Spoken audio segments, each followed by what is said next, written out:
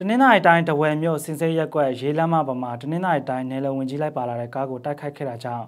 လုံခြုံရေးလိုက်ပါလာတဲ့စစ်ကောင်စီတပ်ဖွဲ့ဝင်3ယောက်သေဆုံးပြီး3ယောက်ဒဏ်ရာရရှိခဲ့တယ်လို့ JPU ပြည်သူ့ကာကွယ်တပ်ဖွဲ့ YP PDFC ကသိရပါဗျ။စစ်ကောင်စီအင်အား10ယောက်ကျော်နဲ့တနင်္သာရီတိုင်းနယ်လုံဝင်ကြီးဗိုလ်မှူးကြီးမင်းမင်းလက်လိုက်ပါလာတဲ့ဗီဂိုအဖြူအောင်ကားကိုတော်လိုင်းပူပေါင်းတပ်တွေကပျောက်ကြားစနစ်နဲ့တိုက်ခိုက်ခဲ့တာဖြစ်ပါတယ်။တိုက်ခိုက်မှုတွင်နယ်လုံဝင်ကြီးဗိုလ်မှူးကြီးမင်းမင်းလက်ကထိခိုက်ဒဏ်ရာရမရရှိပေမဲ့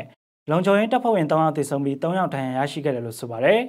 ။ဘေးဘက်တံပြားတွေကာထားပြီးလုံခြုံရေးတပ်ဖွဲ့ဝင်10ယောက်နဲ့ဗီဂိုအဖြူအင်စီကားရဲ့အရှိတ်ဘက်မှာနယ်လုံဝင်ကြီးကထိုင်လျက်ပါလာကြောင်းပြစ်လိုက်တဲ့အချိန်နောက်ဘက်ပဲထိလိုက်တာကြောင့်3ဦးသေပြီး3ဦးဒဏ်ရာရရှိခဲ့ကြောင်းစစ်ရေးပြစ်မှတ်ကိုထိပေမဲ့တိတိယယမဖြစ်သွားဘူးလို့ YPPDF ပြန်ကြားရေးတာဝန်ခံကပြောပါတယ်။နယ်လုံဝင်ကြီးကားတိုက်ခိုက်ခံရပြီးတဲ့နောက် စစ်ကောင်စီတပ်ဖွဲ့ဝင်တွေကအနီးနားကအိမ်တွေနဲ့တော်လိုင်းတပ်ဖွဲ့တွေရှိရာဘက်ကိုရန်တမ်းပစ်ခတ်ခဲ့ပေမဲ့တော်လိုင်းတပ်ဖွဲ့ဝင်တွေနဲ့ရသားပြည်သူတွေထိခိုက်သူမရှိဘူးလို့တာဝန်ခံကပြောပါတယ်ခင်ဗျာ။